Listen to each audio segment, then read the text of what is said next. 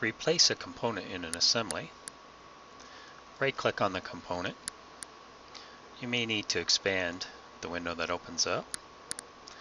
Select Replace Component. Browse to where your component is saved. So I'm going to replace my tall block 2 with my tall block hand part. So select the component, select Open,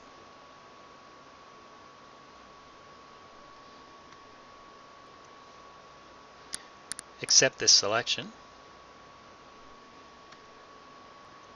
You get a preview of your new component. All the mates will show up. If there are issue with mates, SOLIDWORKS will tell you that and you'll have to repair them. So I'm showing all mates. I can choose to flip the mate alignment if they're not correct, or I can accept them and I've replaced the component.